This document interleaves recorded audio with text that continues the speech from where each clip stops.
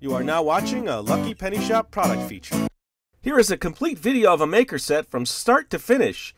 If you want to skip ahead to specific points in the video, then check the description below for skip times. Enjoy! Hey, it's Lucky Penny Shop and it's time for the next Happy Meal Magic Happy Meal snack maker. It is the French fry maker and it does not use real potatoes, it uses bread.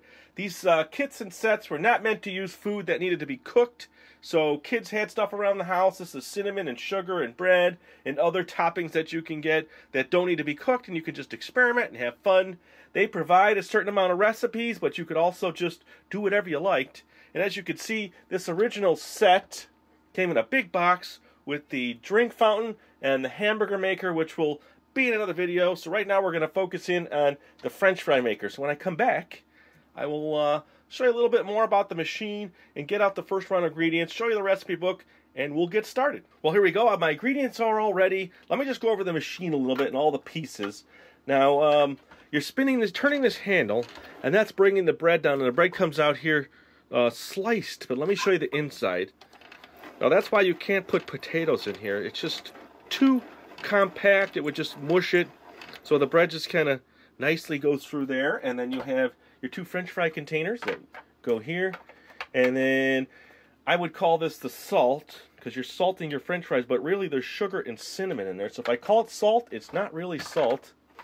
And then there's the big M. And this is your bread cutter. So this is going to be used to cut the bread. And they did have a couple trays and the instructions. So let's check out the instructions. All right, so here is the recipe book. Uh, let's just go through it real quick in case someone has the machine and doesn't have the booklet. It's how to clean it, how to take it apart, how to wash, you what to wash, where to put the labels, which I have all on there now, and then making them and how to do that. So you're cutting the bread with the cutter and just pushing it through the unit, and then you just fold them and put them in the cup, and then sprinkle your toppings and then there were Happy Meal boxes in the bigger set, but those will come out later. I'll show them in another video. And let's just see what was here. Okay, all the sets. And then here are the recipes. So I'm going to do three today. I'm going to do the main recipe. I think I'm going to do this one with powdered cheese. And then either a drink mix. Well, we'll see. Let's just start with the first one. And then we'll get started on making the sugar and cinnamon part time to start recipe number one. And the first step then is to get our salt ready. And yes, I know it's not salt, but we're pretending. So I'm going to get my salt container and we're going to fill it with sugar. Okay. And it was two, yeah, let me get to that recipe.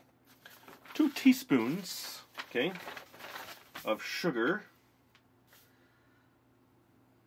Oh, grab the one. I grabbed tablespoon by accident two teaspoons of sugar, one, and I wanted to show you, someone asked about these measurers. It's so that if you pre-measure your ingredients, you can set it right down on the counter and it keeps it level and holds it there for you. There's two, and then one teaspoon of cinnamon.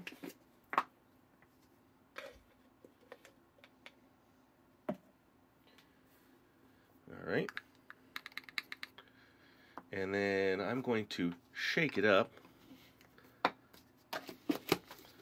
I'll just put my hands over the holes, give it a shake, and the next thing is the bread. So now I'll show you inside.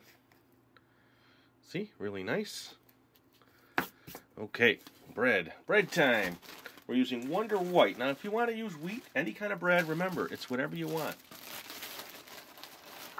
Well, let's get in here. Let's move these out of the way. Let's move our tray. Let's get our machine in. So the first thing you want to do is use your cutter. And that's what this thing is. It's a cutter. They just press and twist. You could probably mimic this with something else you have in the kitchen if you want. There's one piece of bread. Excuse me, let's get the french fries ready. Think of these as french fries, not bread. There is number two. Now I'll put one through the machine so you can see it. And then as you turn here, so what I'm doing is just turning. It's gone now. The one I had put in there slips in and you just feel it's like catches at a certain point and then it starts coming out there and you have fries hmm? let's move them down here now the bread is very moist and fresh So now I'll just turn so you can kind of see it. As it just grabbed it, it's going in, cut through the wheels, and comes out the bottom. Let me get my tray in here.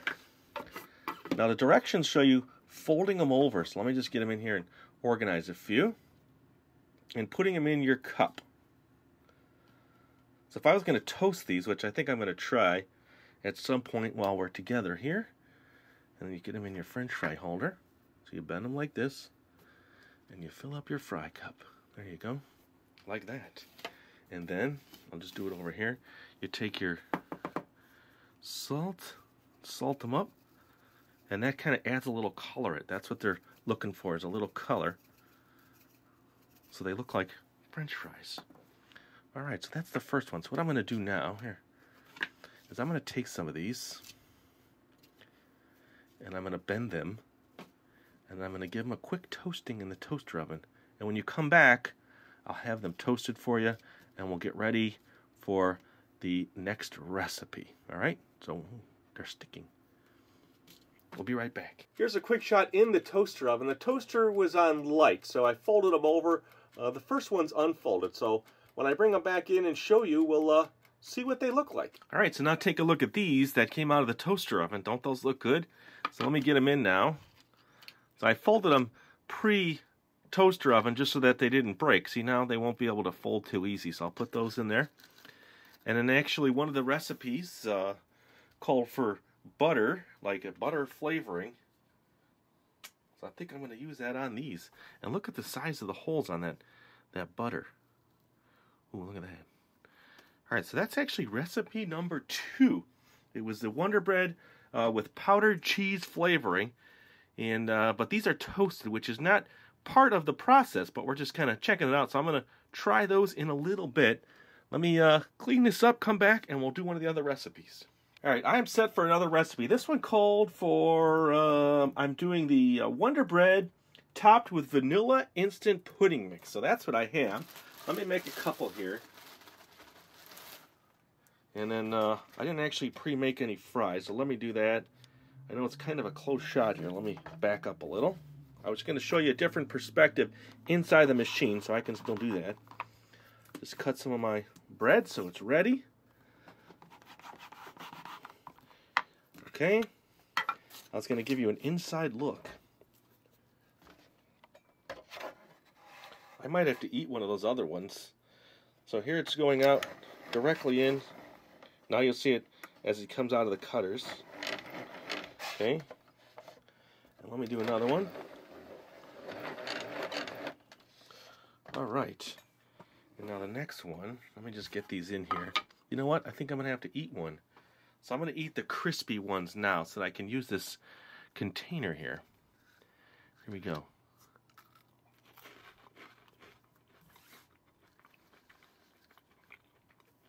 surprisingly, with the cheese and the crispiness, I think it's kind of a fun snack. Hmm. I'm gonna eat the rest.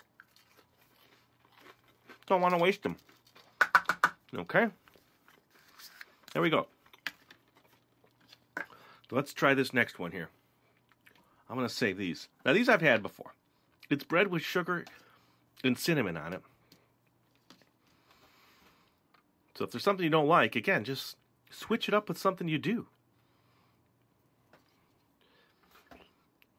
Instant pudding, though. That one I'm not too sure about. Vanilla instant pudding. Hmm. Well, I really loaded it up this time. Look at that. Hmm. What do you think about that one? Vanilla instant pudding. There's another one that calls for it says top with instant spiced cider powder mix. And there's another one that's got top with strawberry jelly, so you can do that too. And there's one that's got Nestle Quik, so I'll probably do that one.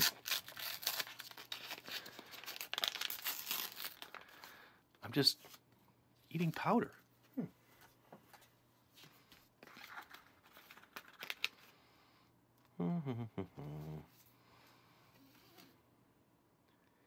and I want to know if everything should just be toasted. Here, I'm having a hard time. Let's do it this way.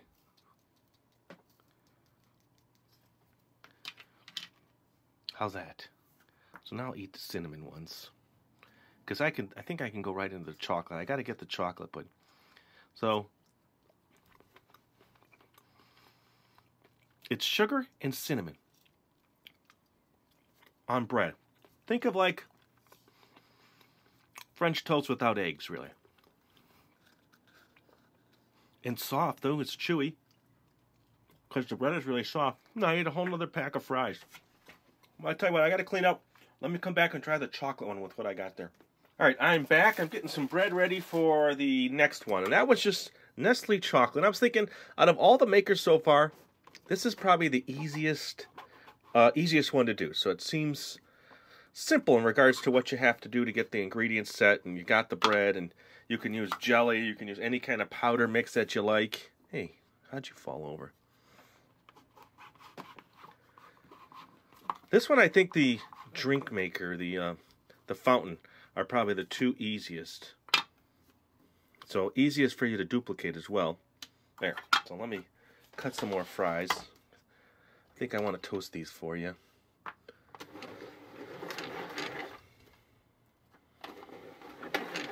Okay, let me get a bunch organized here.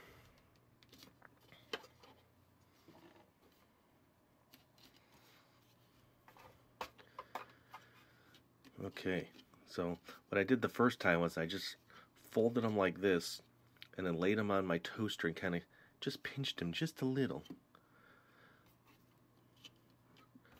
I think I have more than two batches here. There we go. And since it's fresh, soft bread, it sticks pretty good.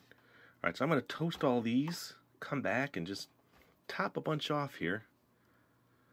There we go. Alright, back to the toaster oven, so we'll check in there. Okay, here you go. Here's my three uh, next batches of french fries in the toaster oven. Just wanted to show you that, and uh, when we'll come back, they'll be nice and toasty. And then I'll mix up a couple of the recipes we got, but I'll also do just the chocolate ones and give those a taste. All right, timer went off, took about. Here we go. Look at that. What do you think? Nice and crispy looking. Would you enjoy those? So you could do this at home too easily if you want to just, uh, you know, create something to cut them or get some help cutting them for you. And then just, you know, bend them in the middle. Let me put one directly into my fry holder here.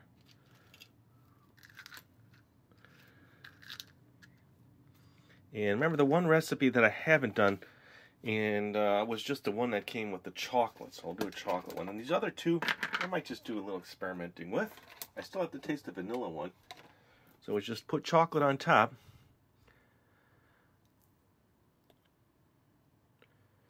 And a lot of the other machines use this uh, powdered chocolate in the cookie mix, and I think even the burgers use something like that, but we'll get to that one.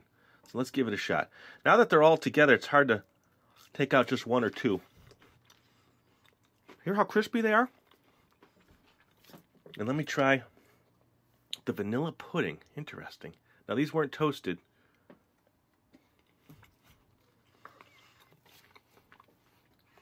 That one's okay. Probably my least favorite out of all of them.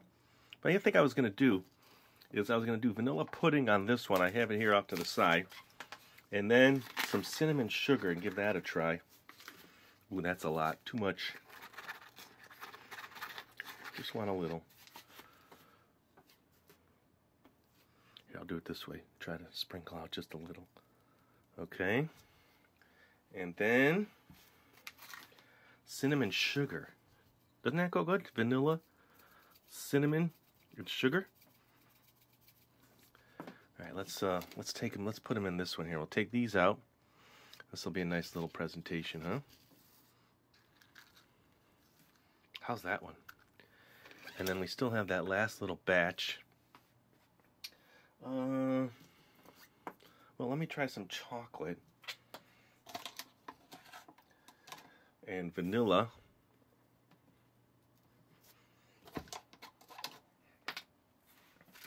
It's like chocolate and vanilla, right? You can eat that. That's a good mix. There you go. So let me try this one first. It's almost easier just to eat the whole thing. Isn't that the best part of a french fry anyway? A lot of times in the bottom of your french fry bag, there's a nice crispy fry. Very good. Now, when I say very good, that's for what it is. It's not like we're preparing a gourmet meal. It's good because you created it. It's fun to do. It's tasty. It's all stuff that most people like. And if you don't, you know, just switch it with something else that you do. So again, this out of uh, out of all the makers is probably the easiest one, but it's still fun. And thanks for watching. It's really appreciated. Now, if you want to catch up on all these revisit videos from where we started, and the playlist will be a description, or you could also just search our channel. And thanks for watching. Later. If you want to find this item, click the link in the description area below the video. You can also watch more videos in this series by clicking here. Thanks for watching. And always remember, if you see a lucky penny, pick it up.